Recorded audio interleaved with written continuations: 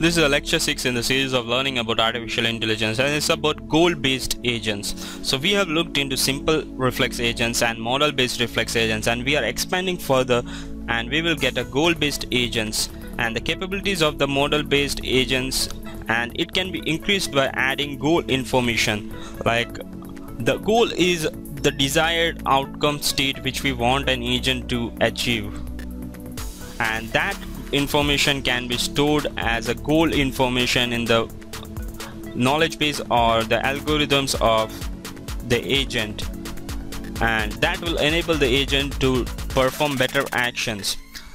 The architecture of this goal-based agent is very similar to the model-based agent that it will store its percept history in a state. And it will also consider the evolution of the world and it will also consider the effect of its action or what effect the action of the agent will have on the environment.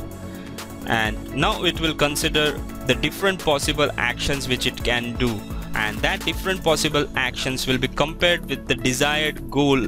And suppose if there is a self-driving car which has to go from A location to B location it can choose between five different paths but the goal will be to minimize the cost and it will choose the path which will enable the cost to be minimum. So that's one of the working example of a goal based agent. So the goal information describes the situation that are desirable. This allows the agent a way to choose among multiple possible actions that it can be do or multiple possible outcomes. And this it will select the one which reaches a goal state and it will select that will enable us to reach the goal we set a goal to achieve things like planning a shopping list. This also helps us to make decision based on the budget of how much to spend or which item to give more priority. If you have 10 items to buy and we have only a budget to buy 8 items, then planning uh, will help us to choose among the 8 items which fits in our budget.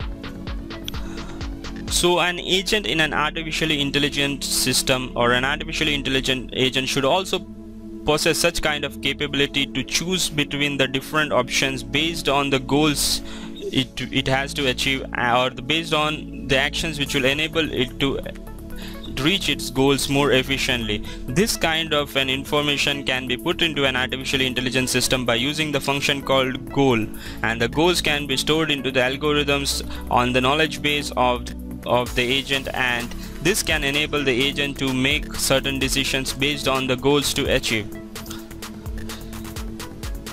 So unlike the model based reflex agents, this one receives many actions and the action which the agent is to choose is based closely on the action which will help the agent to achieve the goal more efficiently.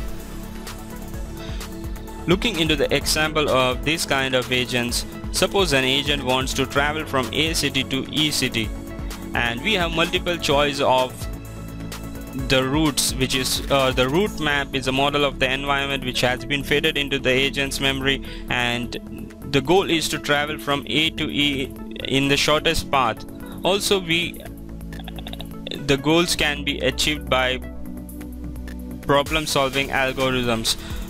So when you have such kind of goals to travel from A to E in the shortest path the shortest to the knowledge of the goals or the route will be stored in form of a graph. And the uh, different nodes of the graph like A, B, C, D, E are cities and the interlinks that is a linking between the A to B city, A to D city, A to E city and A to C city are the routes and the different distances between the routes have been given. Now the goal is to travel from A to E by the shortest distance. So the shortest distance is our goal. So it has four or five paths to choose but it will choose the path which has the shortest distance by taking into considering the distance between the different cities and summing up the total of the different city distances to the final distance between A and E.